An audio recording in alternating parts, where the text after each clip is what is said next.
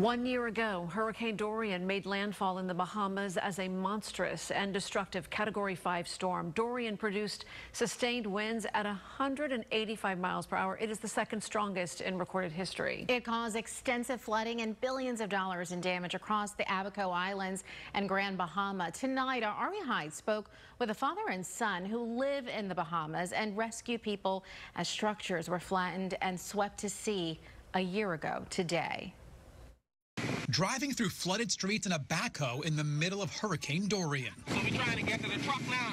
This is Freeport in the Bahamas almost exactly one year ago. Never in a million years we would have expected water to reach in the middle of the city. Like everybody else, Yulin Henfield and his son LeVard prepared for Dorian. This was hardly their first hurricane, and they know there are some places that just don't flood until Dorian. When I look outside, he said, "Hey man, we got to get out here because the water's down the road, so we got we, we got to go." The Henfields made it to higher ground, made it to safety, but then they heard people were trapped and the water was still rising. So we have to make some kind of effort. We can't just stay there and not do anything.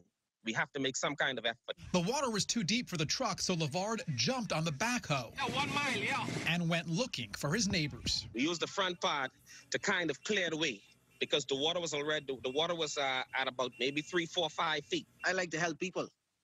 And yeah. I have kids, so I would want somebody to do the same for them as I would do for someone else. So they were like people all over the Baco, and what he did was he drove them down to them uh, to the police station so they could shelter there. Not just one trip, they went back again and again. They had it on Facebook, so a lot of people were crying for help. You know, everybody's crying for help. You know, I'm here, I'm stuck here, I can't get out. I'm stuck there, I can't get out. Anyone in the area, listen for the horn and come out. Henfields estimate they rescued about 60 people in all, and LeVard was okay with it when his neighbors called him a hero. It's not an everyday thing, but it, I, I cool with that. We just was happy that we were there to help and that we could have done what we did to save our fellow Bahamians. The Henfields tell me for the most part, things in their neighborhood are now back to normal, though they say even now, a year later, there are some who are still rebuilding. And they are very aware that we are once again in hurricane season. They say they hope that they're ready. Ari Hyde, WPBF 25 News. Hmm.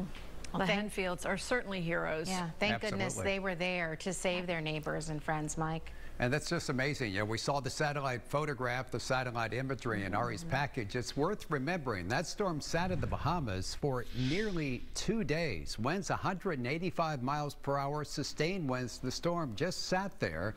The damage just amazing in that part of the world. And how lucky were we that trough came up and picked up the storm and took it east to Florida, eventually making landfall in the Carolinas.